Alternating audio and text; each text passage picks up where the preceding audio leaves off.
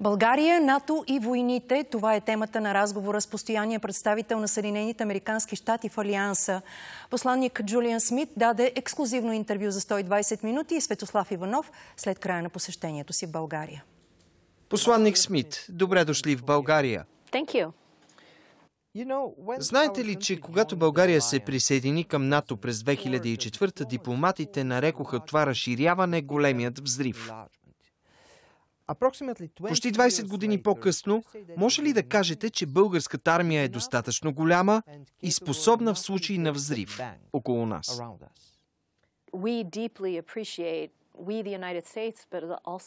Както САЩ, така и НАТО високо ценят многобройните заслуги и принос на България към Алианса.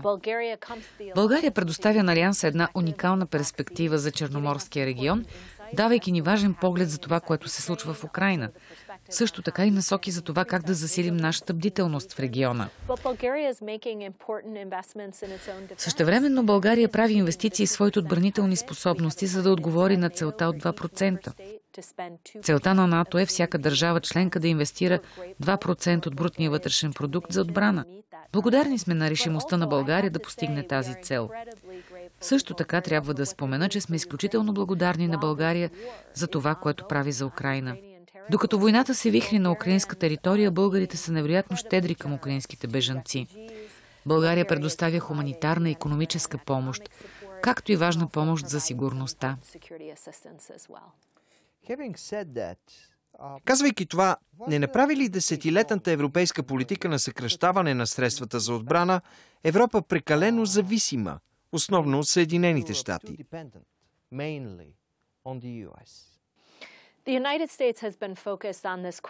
САЩ винаги са отбелязвали важността на споделената отговорност. Всъщност, още през втората половина на 70-те и 80-те години от миналия век, САЩ настояват всички държави членки на Алианса да инвестират в собствената си отбрана, за да може Алиансът да има колективната способност да отговори на редица предизвикателства, било то в момента или в бъдеще.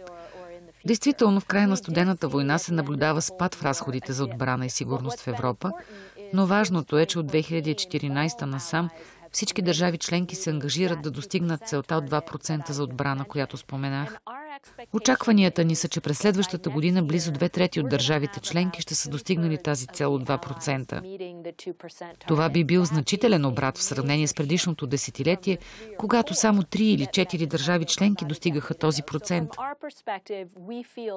Така че от наша гледна точка считаме, че тенденциите се движат в правилната посока и в крайна сметка ще постигнем заложената цел. И всеки член на Алианса ще инвестира в своята отбранителна способност, правейки Алианса по-способен. На Украина предстои дълга война. Готови ли са западните съюзници от НАТО за продължителна война, след като контраофанзивата на украинската армия не се разви според очаквания начин? Президентът Байден изнесе извънредно важна реч, в която бе отправено изключително важно обращение към украинския народ, но също и към президента Путин, а именно – САЩ са готови да подкрепят Украина колкото е необходимо. Имаме капацитета да го направим, дори и предоставяйки подкрепа на нашите приятели от Израел при тези ужасяващи терористични нападения. Задължени сме да го направим. Интересно, но и същевременно обнадеждаващо е, че толкова много наши партньори и съюзници по света продължават да изпращат същото послание. Никой не си извръща главата, никой не е разконцентриран, на което всъщност е разчитал Путин. Предполагал е, че трансатлантическите партньори ще загубят интерес към Украина. Никой не е загубил интерес. И все така сме ясно фокусирани върху предоставянето на нужната помощ на украинския народ. В същото време вие добре знаете, посланник Смит, че дългата война изисква въздушна отбрана повече от всичко. Мислите ли, че стратегията на Европа да изпраща своите стари оръжия в Украина трябва да се промени? Не става дума единствено и само за съюзниците от НАТО. Има група от 50 страни от целия свят, които се срещат ежемесечно, част от формата Рамштайн. Или контактната група за предоставяне на отбранителна помощ на Украина. Всеки месец тези 50 държави се събират, за да разберат по-добре какво е необходимо за украинската армия. В последно време фокусът е върху два фронта. На първо място противовъздушната отбрана, както споменахте, но също така и боеприпасите. Нуждата от боеприпаси е огромна. По време на последната среща, която се състоя преди няколко дни, много страни направиха допълнителни предложения за предоставяне на помощ. Вярваме, че украинците ще получат нужните им активи за въздушна отбрана. Това е от значение поради няколко причини. Важно е не само за тяхната войска, която води война на бойното поле, но е от значение за градовете им, тъй като наближава зимата и знаем, че Русия много често предприема атаки срещу критична инфраструктура, за да хвърли Украина в мрак и студ през зимата. Това е причината за искането за противовъздушна отбрана. Да не забравяме и за зърното. Откакто Русия се оттегли от Черноморската зърнена инициатива, която беше толкова важна, руснаците започнаха да атакуват зърнените хранилища. Така че противовъздушната отбрана в момента е приоритет за нашите приятели от Украина поради изброените причини. Чудесно е да видим всички тези държави от целия свят да се обединяват и да намират допълнителни форми на подкрепа.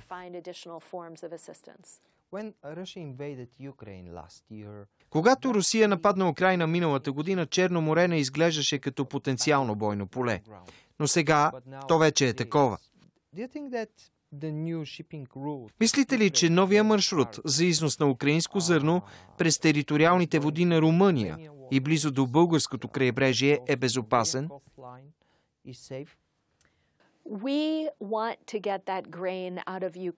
Искаме зърното да се изнесе от Украина поради ред причини. Необходимо е за хората от региона, но по-важното е, че зърното е нужно на хората по света, които силно разчитат на този внос.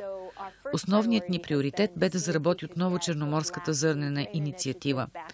За съжаление, руснаците не проявяват интерес. Оценяваме усилията на Турция да я възобнови. Тъй като това не се случва, се фокусираме върху други транспортни, пътни и железопътни коридори и допълнителни маршрути през Дунав и Черно море. Разглеждаме всеки възможен сценарий.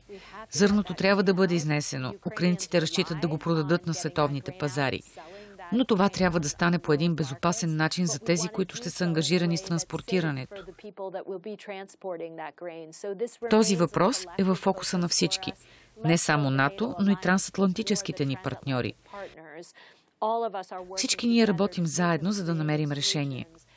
При вземането на решение за транспортирането на украинското зърно по път, релси или вода, ще бъдат взети всички мерки за безопасност, за да сме сигурни, че тези коридори са защитени. В този смисъл, след като Румъния и България не разполагат с големи военноморски сили, дискутирали ли сте военни конвои от НАТО да охраняват търговските доставки от Украина по море? За сега не сме обсъждали такава възможност поради очевидни причини. На този етап е трудно да си представим натовски плавателни съдове да навлизат в Черно море в сегашната ситуация.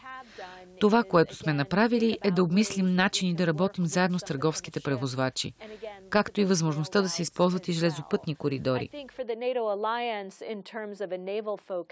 По отношение на НАТО и военноморските сили, насочили сме нашето внимание напоследък върху Черно море, за да усилим бдителността и да се уверим, че с времето нашите съюзници ще засилят способностите си.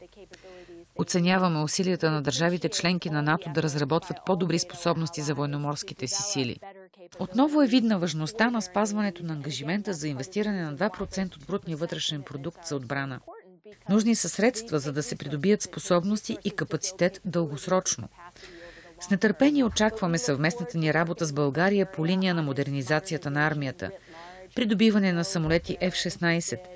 Надяваме се, че скоро ще ги получите. Обсъждат се и други способности. Напълно подкрепяме модернизацията на българската армия. Накрая, в България повечето гласоподаватели избраха партии, които в момента подкрепят Украина. Но в същото време имаме президент, който е главнокомандващ на армията, който нарече тези партии военнолюбци. Бихте ли казали, че България е надежден и силен партньор в Алианса в момента? Напълно. В София проведох чудесни срещи през последните дни. Успях да се срещна с високопоставени правителствени представители и министри, както и с министър-председателя и с президента, и обсъдихме общите предизвикателства. Посланието ни е ясно. Подкрепяме всички усилия на България за модернизация на нейните въоръжени сили. Що се отнася до това кой е войнолюбец, смятам, че отговорът е очевиден. Очевидно е, че президентът Путин води тази агресивна война в Украина. Той започна войната преди година и половина и той е този, който може да я спре още утре, ако иска. Посланник Смит, благодаря ви за участието. Благодаря.